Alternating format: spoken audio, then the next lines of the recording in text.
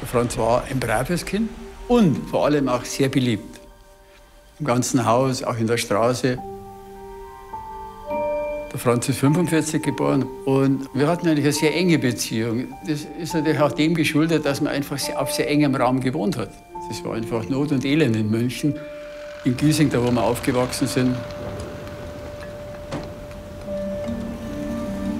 Ja, es war ein anderes Land. Und was hattest du als heranwachsender Junge schon außer Sport?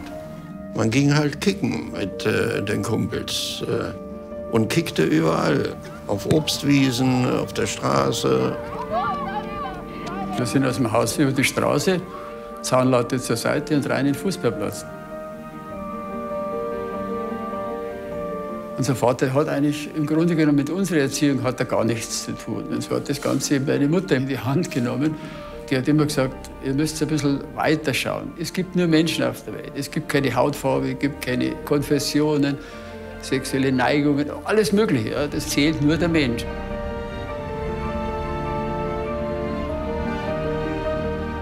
Der Franz war damals 14 Jahre und den hat dann der damalige Trainer mitgenommen ins Trainingslager. Und da habe ich ihn zum ersten Mal gesehen, Herrn Franz.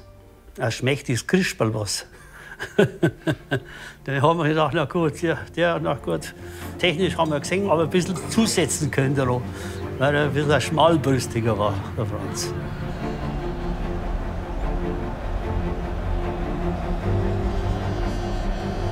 ein Jugendspieler, der jetzt in die erste Mannschaft kommt, der Fähigkeiten hat, wie sie es bis jetzt beim FC Bayern noch nicht gab.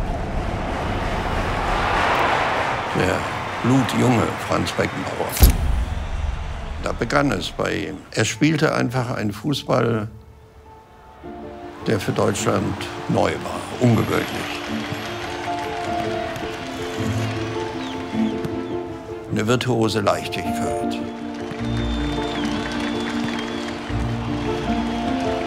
Er versucht durch seine Intelligenz, durch seine Eleganz und seine Art, wie er seinen Körper bewegt, das Spiel zu öffnen und das Spiel zu gestalten. Angriff abgefangen von Beckenbauer, dem Stopper, der jetzt mit nach vorne geht.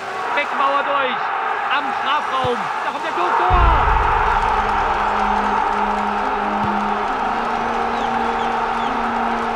Mit diesem 4 zu 2 erreichte Beckenbauer bisher den Höhepunkt seiner Vereinslaufbahn. Deutscher Pokalsieger 1966. Er war besessen, ehrgeizig, alles vorhanden, was ein richtiger Fußballer haben muss. Äh, nur ist nicht so aufgetreten. Man hat das, äh, wir, die ihn genau gekannt haben, ich besonders, habe ihm das immer erzählt, wie ich ihn sehe. Und dann hat er immer gelächelt und gelacht und er wusste, dass ich recht habe. Seit dem Einstand in der deutschen Nationalelf nahm Beckenbauer an neun Länderspielen teil. Er ist der jüngste der Nationalmannschaft. Da war dann schon klar, relativ schnell, dass dann das eigentlich nur nach oben gehen konnte. Hans Beckenbauer war so der Ausdruck von Wohlbefinden und äh, ja, damals war auch noch nicht so dieser Zeitgeist, dass man über alles nur geklagt hat, sondern man hat sich irgendwie auch daran gefreut, dass es uns gut ging. Beckenbauer ist stolzer Besitzer eines Einfamilienhauses in Münchens Villenvorstadt Solln. Der AC Mailand wäre bereit gewesen, dem FC Bayern 2 Millionen Mark Ablösegeld für Franz Beckenbauer zu bezahlen. Das ist bisher die größte Summe, die vom Ausland für einen deutschen Spieler angeboten wurde.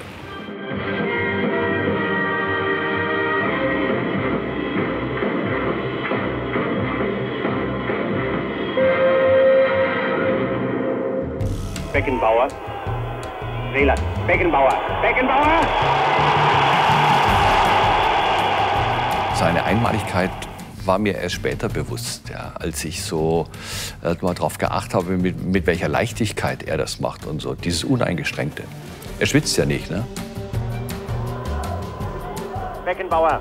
Allein muss er gehen, sonst wäre er abseits gewesen. Wunderbar! Kommt! Sie wissen so gut wie, welch großartiger Fußballspieler Beckenbauer ist. Was bei ihm herausstechend war, die Art und Weise, wie er natürlich diesen Ball gestreichelt hat. All diese Attribute dessen, wie er das Spiel geprägt hat, äh, waren, äh, waren so beeindruckend. Beckenbauer, Taylor, Beckenbauer, ja! 2 zu 0 für Deutschland! Also auch auf internationaler Ebene hat natürlich äh, Franz Beckenbauer eine enorme Strahlkraft entwickelt. 70. Spielminute. Eine letzte, fast indiskrete Frage. Ist die Verehrerinnenpost gestiegen nach diesem Spiel? Nein, also.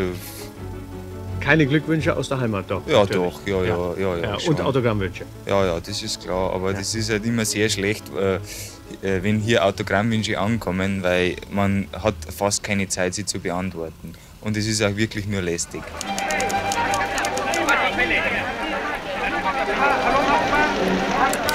Guten Abend, meine Damen und Herren.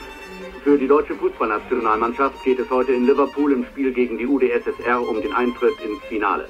Und auf einmal haut der Franz aus 25 Meter, haut er den so halb hoch ins Eck. Tor! Tor! Das war Beckenbauers Geschoss. Deutschland führt mit 2 zu 0. Der Franz stand ja dann mit der WM in England 1966 im Mittelpunkt des deutschen Fußballs, im Mittelpunkt der deutschen Nationalmannschaft. Die deutsche Mannschaft jubelt in diesem Augenblick. Mit 2 zu 1 hat sie die Sowjetunion geschlagen und zieht damit in das Endspiel in Wembley ein.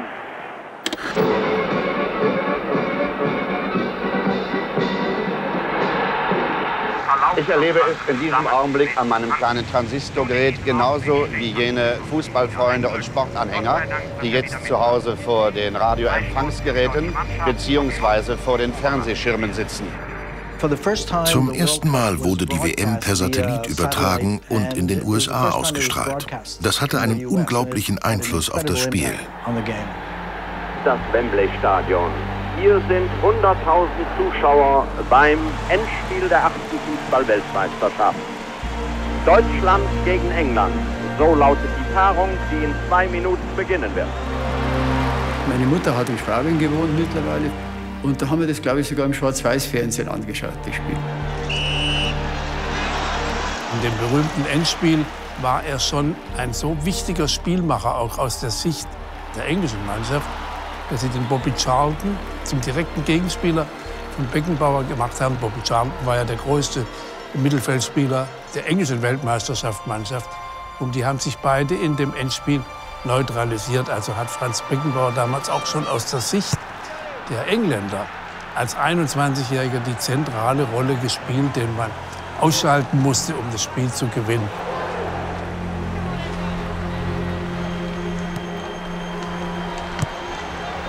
Achtung, Achtung! Hi! Nicht im Tor! Kein Tor! Oder doch? Jetzt was entscheidet der Linienrichter? Tor! Naja, und dann kam halt dieses, dieses dritte Tor, wo man immer noch nicht weiß, war er drin oder war er nicht drin. Ich war so müde, weil mich der Poppy Charlton 120 Minuten über den Platz gehetzt hat, dass mir das auch völlig wurscht war. Zum ersten Mal in der Fußballgeschichte wird England Fußballweltmeister.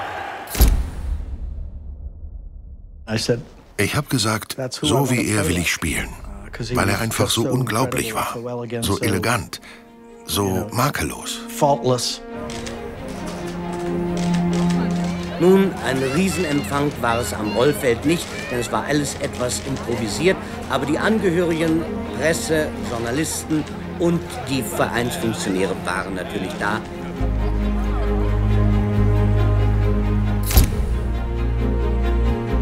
Franze, haben Sie eine Chance, ein bisschen auszuspannen oder geht es bei Ihnen jetzt gleich weiter? Ja, bei uns geht es gleich wieder weiter. Vielleicht habe ich die Chance, vielleicht gibt mir der Verein eins, zwei Tage Ruhepause, aber dann geht es mit äh, frischen Kräften wieder los in die neue Saison. Na, was meinen Sie, was los ist, wenn Sie hier in München Ihr erstes Spiel wieder machen? Dann brechen hier die Ränge.